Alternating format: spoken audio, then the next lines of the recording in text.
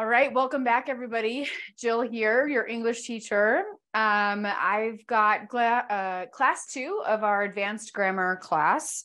Um, we're getting started a little bit late today, but um, lots of moving pieces, and I've got a great class planned here for you guys. Um, let's see. So, uh, in our class on Tuesday, we went kind of really deep into the present tense um, we talked a little bit about the differences in um, English versus other languages and how um, English doesn't use the present tense as often. We use present uh, progressive or present continuous, some people refer to it as, more often. We also talked about the pronunciation of the final S sound in the present tense. We discussed having three ways to pronounce um, the final S. Uh, we looked at voiced and voiceless sounds. So if you missed that class, go ahead and um, go back to that. So it would have just been Tuesday's uh, advanced grammar class, class one. Um, and let's see, what else did we talk about? I think that's pretty much it. We did a little bit of practice together and looking at um, like I said, the spelling changes and then the pronunciation of those sounds. So today we're going to do another deep dive, um, go a little deeper than we do in our intermediate grammar class, and we're going to talk about the present progressive form. Um, so this one again is the form that I believe um, in in in American English uh, we use this form more often um, especially and more specifically when we're talking about something that is happening right now. Okay. So, uh, as I've told you, I really like to use um, formulas. So, I wrote this out here for us. This is the general formula for creating a sentence using um, the present progressive tense. So, as we also talked about in class, um, that English is an SV O language. So, for those of you who are not familiar with what that means, um, it is generally the structure of a sentence in English. So, there are other languages that are OVS, OSV, different kind of configurations. Uh, but English is, in fact, an SVO language. So, um, let's get started with this. Um, this just means that the order is you know, we start with subject, then we have the verb, and then typically there's an object. There's sometimes and oftentimes things that are in in between there. Um, but generally th- that's the order and with english it's fairly strict okay meaning you don't usually you, you don't unless it's like poetry or some figurative language you know we really don't move that structure around too much um, okay so let's see. So in general, we've got our subjects always. Um, I, you, we've got he, she, and it. That's that third person. Okay. So I'll just kind of keep them together and pay attention to that. And then we've got the the plural with I included, and then plural from the third person. Okay. I, you, he, she. So those are our subjects. Then we're going to add the forms of the verb to be. And if you're an advanced student, so at the C1, C2 level, of course, you guys probably know this, but let's just do a quick review so that we're all on the same page if you have not been here. And, you know, learning is always just a process of learning something, going back and remembering, um, as I talked about in the class on Tuesday, you know, I think what often happens is some of the mistakes that I hear from my students is that they forget this next part. So they'll say, I walking or I needing. Okay. So we'll talk about that too. Um, uh, I'm going to put that over here. So the non action verbs. I believe we talked about that in the other class, but I don't fully remember. So we'll just look at those quickly. Um, okay. So the forms of to be in the present tense. So it's present tense. We're using am, are, is, are, and are. Okay, I am, you are, he is, she is, it is, um, we are, and then they are. Okay. Um, and then you've got your main verb. Okay, so let's say walk, um, speak, um, share, um, I'm going to just start using some words that maybe we don't know so we can kind of practice new vocabulary and um,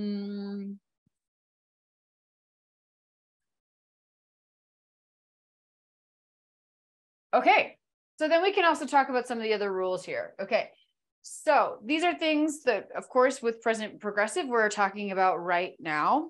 Um, so if I say I am walk and then, oh, what are we forgetting? We've got the I and G plus I and G. That's the other part. So this is the main verb. Okay.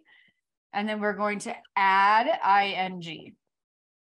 Now, with some of these, we've got some different rules. Okay. And we'll take a look at those. So I am simply, we're just going to add ing. I am walking. Okay, I am walking right now. Maybe you're on the phone and you're talking to a friend and you say, I am walking. Okay, speaking. Speaking. Now, this one gets a little bit different. Ooh, excuse me. Um, you have the word share. And one of the rules is that when you have the E at the end, we change the spelling. We drop that and we the ing form becomes sharing. Okay, sharing. Uh, and the same thing happens here. Exhale is exhaling. What does that mean?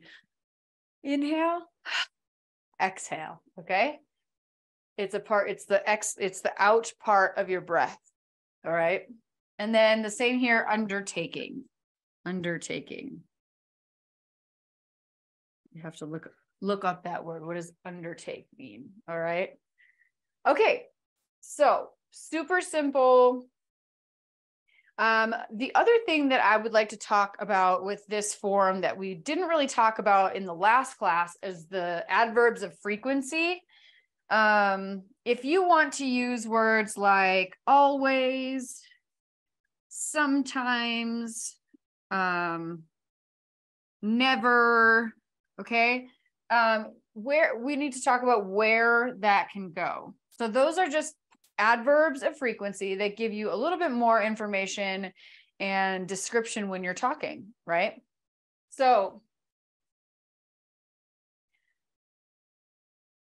so, so even though I told you here that the SVO is pretty strict, meaning we don't really move things around a lot, when you've got these additional words, you can kind of put them in here or here. You could say always they are undertaking or they always are undertaking, or they are always undertaking. I would say it's most common to happen here or here for these words, okay? But it can go in the beginning, here, here, or at the end, okay? Um, and then keep in mind that these sentences are not necessarily complete. You, you are speaking is fine, but most of the time there's something at the end of the sentence.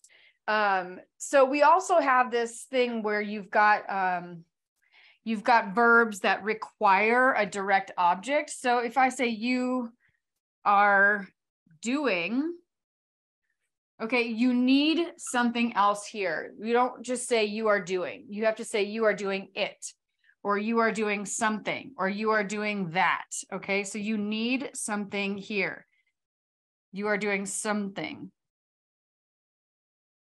Okay, we can talk about that in, in, in a, a next class here. I'm going to put that here. So we know a little bit about the adverbs of frequency. Again, this is advanced grammar, so we move pretty quickly in this class because I assume that you've done a lot of this work already. Um, so let's see. Um, so let's look at these rules that I've discussed here. We started to talk about it here. So in general, the first rule is that the um, ing form is just simply the verb, the main verb plus ing. Okay, so for example, walk goes to walking. Okay, that's your general rule. Okay, we'll put a little star on this for number one here. Next, there's some exceptions, right? So we talked about this one where you've got an E, a silent E. Most E's at the end of English words are silent. Um, so um, you've got share goes to, um, so we'll do share plus ing. We cross out that E and we have sharing. So the rule is if,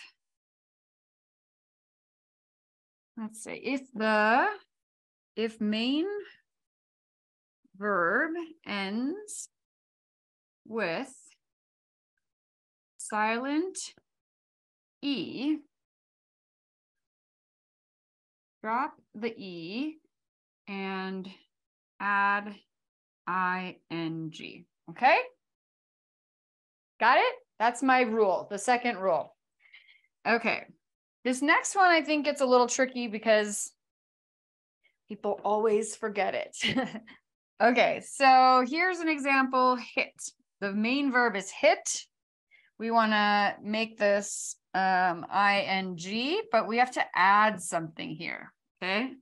So the what the correct form of hit in the progressive tense is hitting. So what happened there?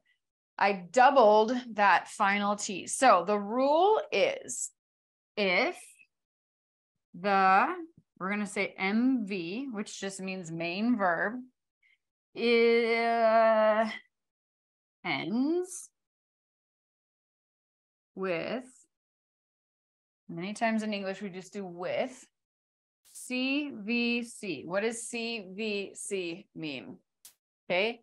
CVC is a consonant, vowel, consonant. So H is a consonant,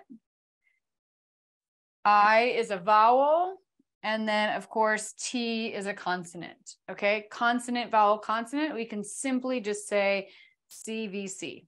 Okay, so if the main verb ends with CVC, you're going to, you must double the final C. Okay, so that's your rule here. So other examples that we could do for this one are, let's see, we've got hit and hitting. Let's see. Um, what did we say? Pin. How about that? Pin goes to pinning. Uh, that's just one example. How about this is another one. How about spin? So this is not, this is not, it's consonant, consonant, vowel, consonant. But the rule is if the, the main verb ends with CVC, so this is CVC, the P-I-N, even though you have this S here, it still ends with CVC. So you can use, or you will use um, this um, form. Okay. Um, I had another good one in my head now. Oh, um,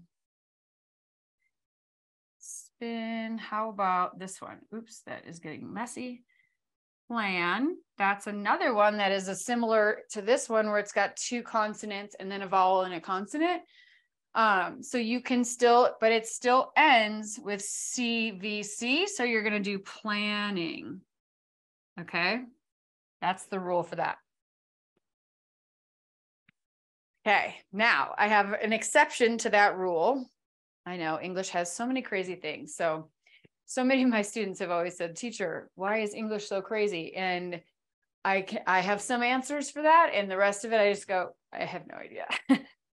okay. So the final exception to this rule is that we have, um, even if it's CVC, um, let's see, I want to see how they said it in this book because I said it so much. No, I'm not even gonna look. Okay. So if the CVC word, so for example, here's my main verb, okay, fix. And when I add ing, guess what? Even though it's a CVC, I'm not going to double that. So it's going to be in its final progressive state, just fixing with one X. Okay. Um, I can't explain that, but the so the rule here is um, if the CVC form, or let's say word, how about that? Word um, ends with X, W, or Y, do not double the final consonant. Okay, so the fixing, uh, let's see. Let's do some. So we've got fixing, that's easy. We've done that already. How about sew? Goes to sewing. And um, play, how about that? Play, we do not double the Y. So we're going to say playing. Okay. Playing. Okay, so those are our rules for the day um, and for your present progressive. All right. Um, great. Okay. Actually, I'm going to take a quick picture of this that can help some other people in our other classes. Okay, great. All right, so let's move on. We now we know the spelling rules. Let's take a look at um we we already looked at the negative tenses. Um or maybe we didn't. Um, let's look at that. So we know here how to form the present tense, right? Okay. We know where the adverbs of frequency go. Let's talk about when we make these sentences negative. Okay, what happens there? And where how our formula changes. So if I want to say this sentence in the negative, I'm going to put not here. Okay. So we're going to insert not between the form of to be and the main verb that has the ing. So I am not walking. You are not speaking. She is not sharing. We are not exhaling. That's a bad thing. Um, they are not undertaking that project. Okay. So super easy for that there. Remember the contractions. Okay. And the pronunciation. Let's do a quick review of those contractions that we use. So for this form, okay, so we've got I am goes to I'm. Um, and here's the pronunciation. If you've missed my other classes where we discuss pronunciation, I really think that you should join because I think that pronunciation is one of just the most under taught and um, well, not and under taught aspects of English. Okay. And so we really, in, in our pronunciation and fluency class, we really start at the beginning so that you have like a really good foundation for building on top of that to have great pronunciation. Okay.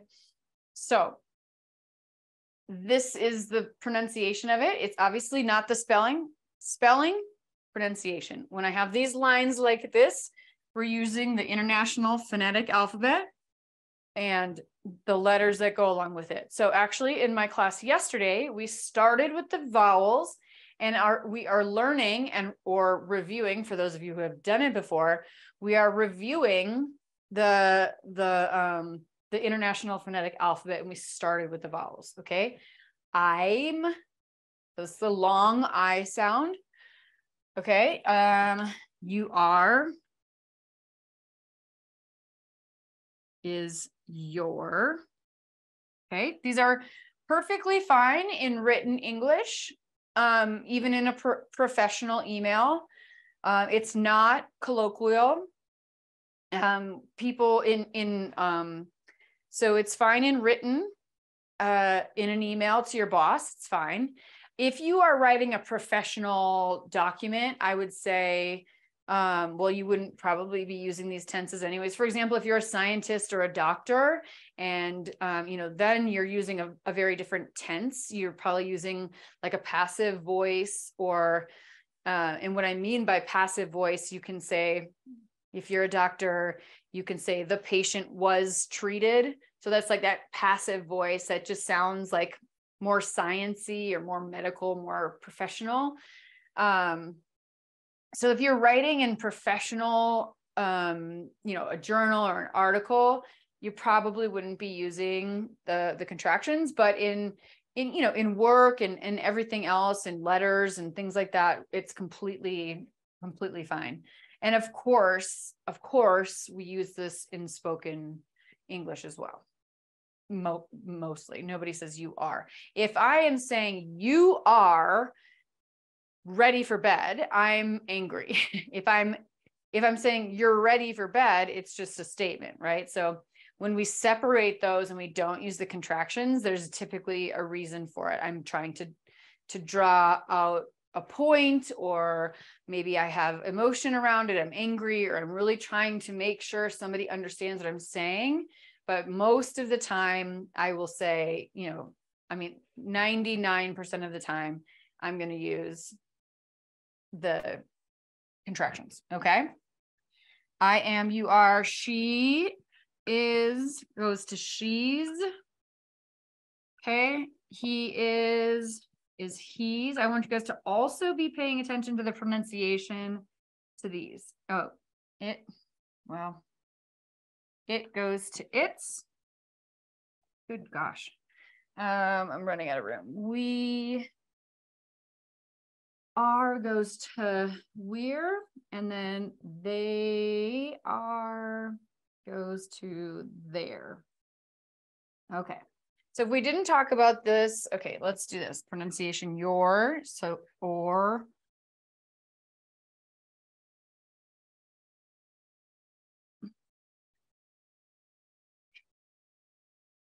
We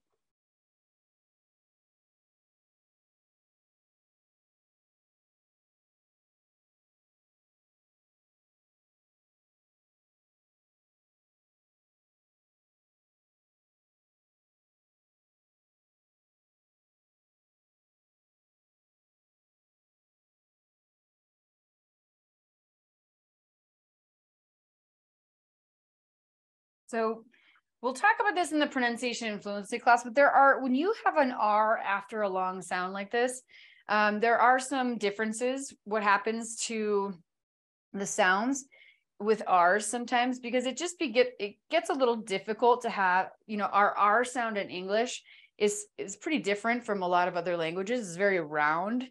Um, R it's and it's a it's a fricative, meaning you can draw it out. Um, so we'll talk about that in another class, but just kind of keep in mind that our kind of they call it color the sound. It can kind of change the sound a little bit.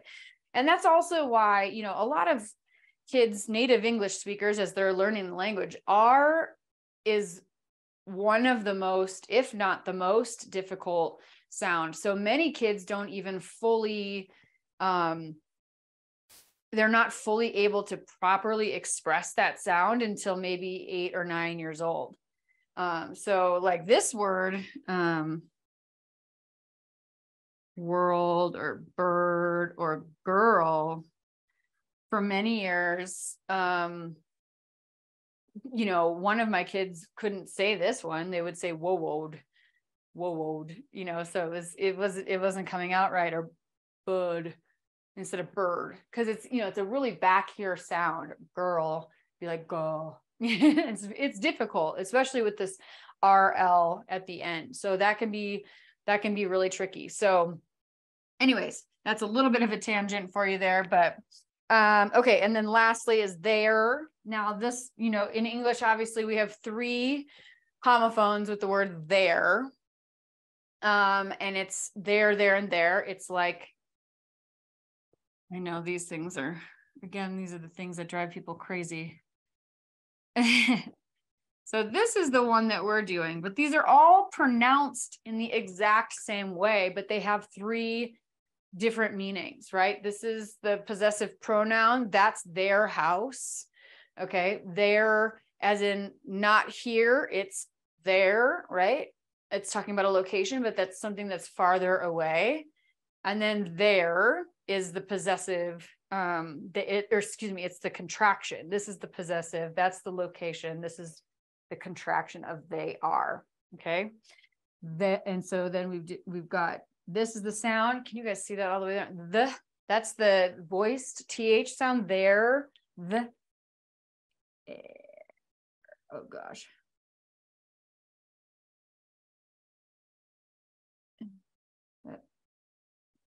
Air, air. Actually, I think I would probably say it's more like this. Okay.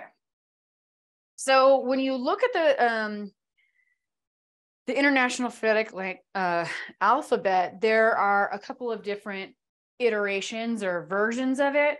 Most, you know, if you let's say there's three different styles, most of them have the same um, consonant sounds, and some of them just vary with how they write the um, the vowel sounds, and then some of them have a little more, you know, slashes and things that kind of can show um, stress or different sounds that don't exist necessarily in English. But um, keep in mind that you can take the, I, I, really, really recommend, and it's a great combination, is the pronunciation and fluency class, because I really think, especially if you're, you know, you're doing these grammar classes, it's just such a nice co- combination.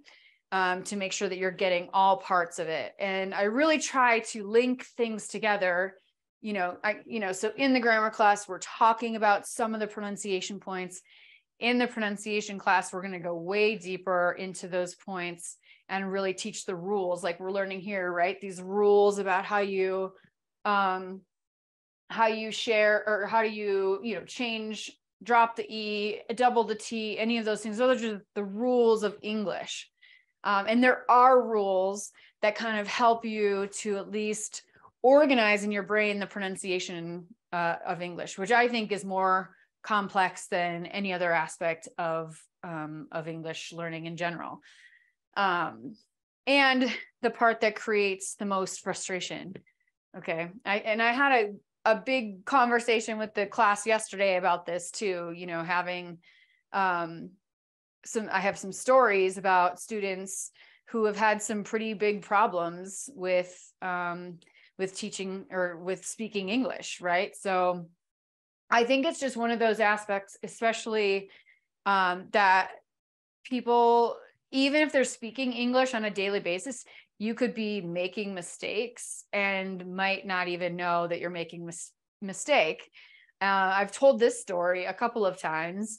Um, one of my students who I worked with for a couple years ago, um, she uh, had been she still lives in the united states. She's married to an american guy. They've been married i don't know maybe five years.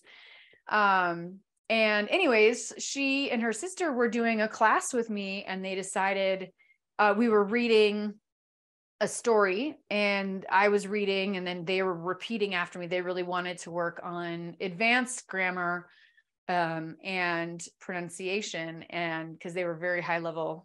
I mean they were fluent English speakers, in my opinion, but they really, you know, had this feeling like, oh, sometimes people don't understand me and I really hate it. And so let's practice.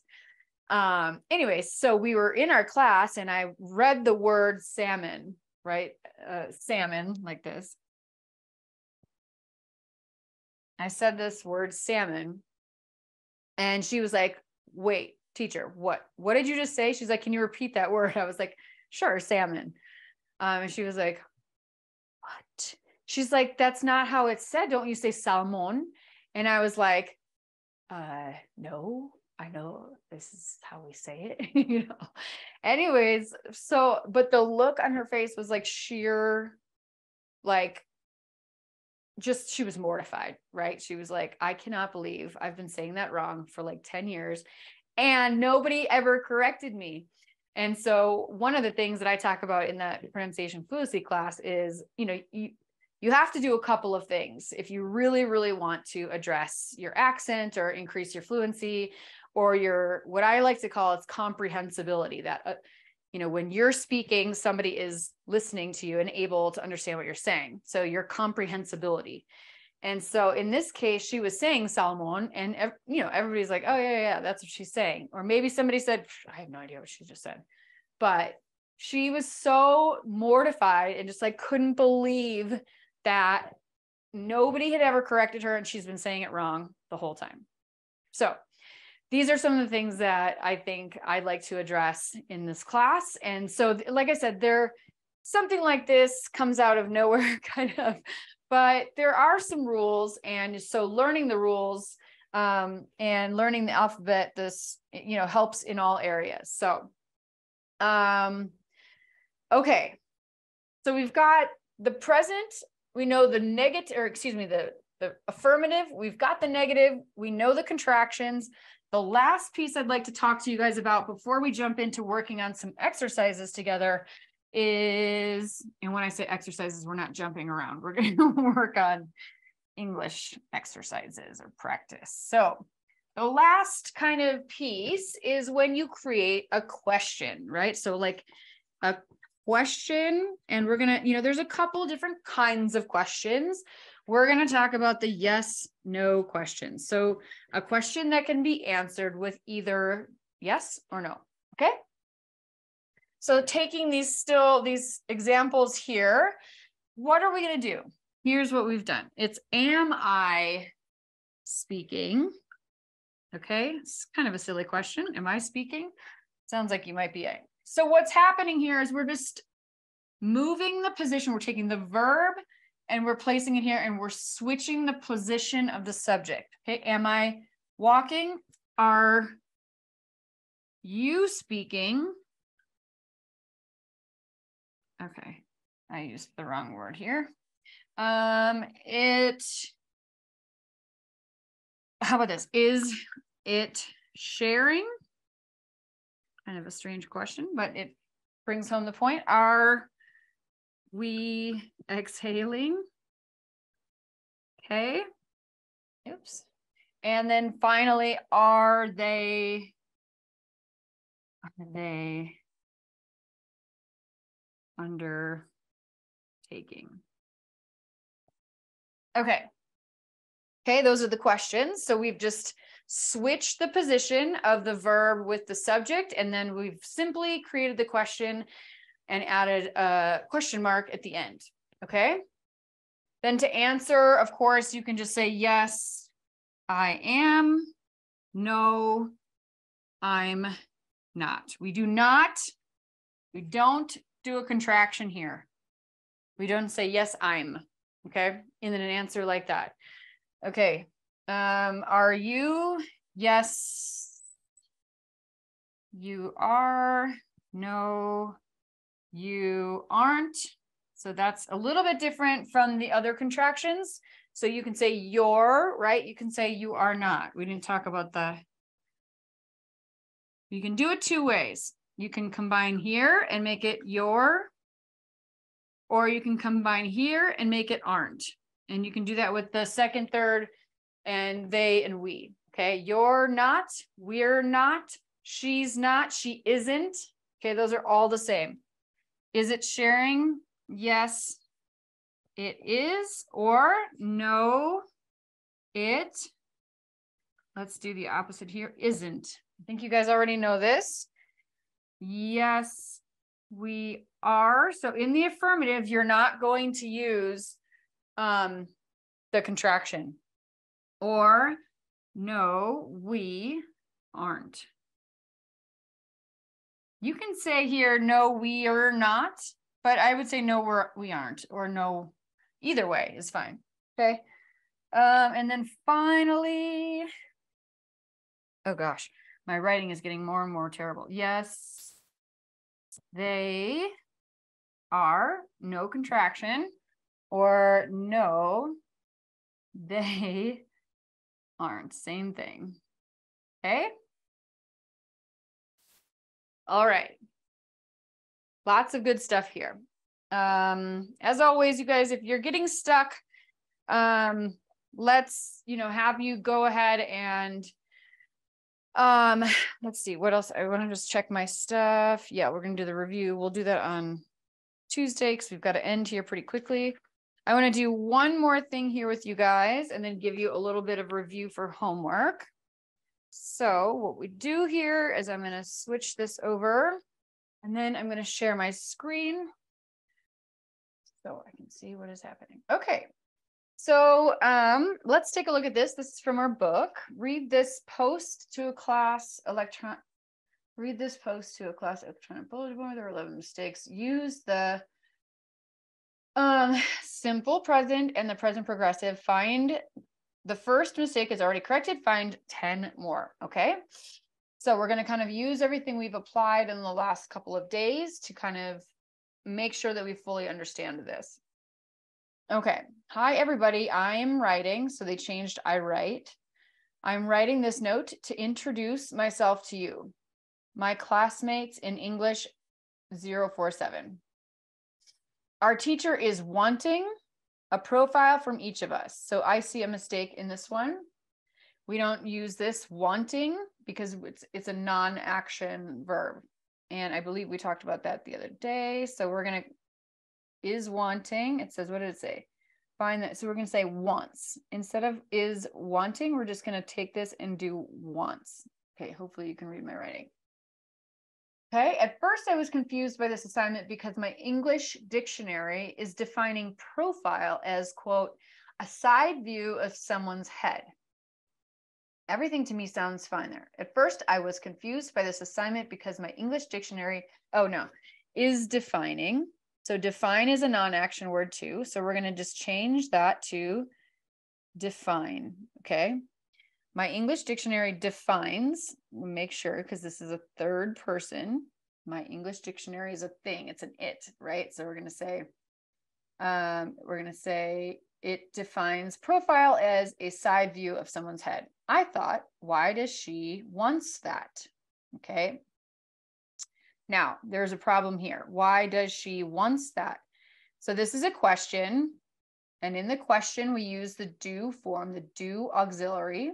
We didn't talk about this, but I'm hoping that you guys remember this. Why does she? So if we have does, it already tells us the correct form. So then we can use the base form of this verb. So we just simply take that S off. Okay. Why does she want that? Okay. This is a common, common mistake. So it really comes down to when you're forming the WH questions, Okay, what are the WH questions? We've got who, what, where, when, why, and how, even though how is not WH, we typically just call these all WH questions. So, so when we've got our I am speaking or um, you know, any, let's, let's just come up with, actually, let's not do this. Let's do speak. Uh, and let's create a couple quick questions so that you guys kind of just remember how we do this. So let's do who. Who, so your, your formula is the WH, right? Does, and then we've got the do auxiliary. Okay, who does she. So then you've got your subject. You guys see that subject. This is our formula.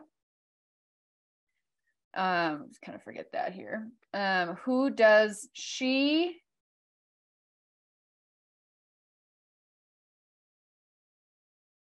talk to? Okay. Um, this isn't necessarily the present progressive. So this is just an example of who does she talk to? That's sorry, that's my question. So up here, we're going to put subject and main verb, and then kind of the remainder of your sentence. Okay. Um, if you want to use a present progressive one, um, what, so this one is a present tense, right? What um, is she wearing tonight? Okay, we're going to talk too about usage, about using this. Um, we can sometimes use um, present tense and present progressive in the future. So another a good example of that is um, when does the airplane take off tomorrow? Okay, so you're talking about something that happens tomorrow, but you're actually using the present tense. Okay, and there's some a, a couple of different examples when that can be totally fine. okay, um, where are they driving to? So keep in mind that you have to have that to at the end. Where are they driving? You need to have where are they driving to. Okay. When, um, so these are present progressive. Let's do another present tense. When does the, when does, um, the garbage go out. All right. So in our neighborhood, there's a machine that comes by or a, a guy who comes by in a truck that picks up our garbage one time per week. So we might ask the question, when does the garbage go out? Okay. And then finally, let's do, so this is present progressive. This is present simple, present simple, present simple. Let's do one more. Oh, nope, that's present progressive. So let's do why is, why is, why are, but that, let's try a different tense. Why are they um, flying instead of driving? So you can notice here I used one subject. Okay. I used two main verbs with ing, but I didn't need to say, why are they flying instead of they driving? You don't need to say it twice. You've got it here once. So you can say this instead of this. Okay. You don't need to, and you shouldn't use they more than one time. Okay. Um, great. Okay. I'm going to let you guys finish this class bulletin. I want you to find 10 mistakes. Let's see, we found two. And so you need to find eight more.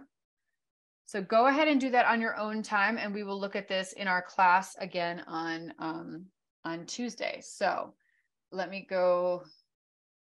All right, you guys, thank you so much for being here. Um, we will meet again uh, next Tuesday at 11 a.m. Mountain Standard Time. If you have any questions, please reach out to me. And thank you so much for being here. Um, I hope you all have a very wonderful day. Bye.